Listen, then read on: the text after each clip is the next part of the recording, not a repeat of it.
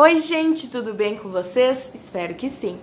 Aqui quem fala é a gaiteira Luana Krenik e hoje eu vou falar sobre tradições pomeranas, em especial o casamento pomerano. Este vídeo é a pedido da página Espírito Pomerano. Então, existe uma música que não pode faltar em nenhum casamento pomerano aqui na região sul do Rio Grande do Sul. Essa música se chama Dança da Noiva e ela é tocada em dois momentos durante o casamento pomerano. Depois da cerimônia dos noivos na igreja, eles são levados pelos músicos até o salão da comunidade que fica próximo à igreja. Então, formam uma fila que vai os músicos na frente tocando a dança da noiva, depois vem os noivos, os pais dos noivos e também os padrinhos.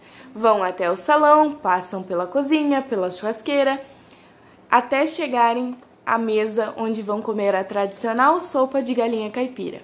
O segundo momento, que é tocado a dança da noiva, é no meio da tarde, depois que todos os convidados já almoçaram. Os noivos pegam uma cadeira, colocam um cesto em cima e os padrinhos e convidados que quiserem dançar com os noivos pela última vez devem pagar uma quantia pela dança.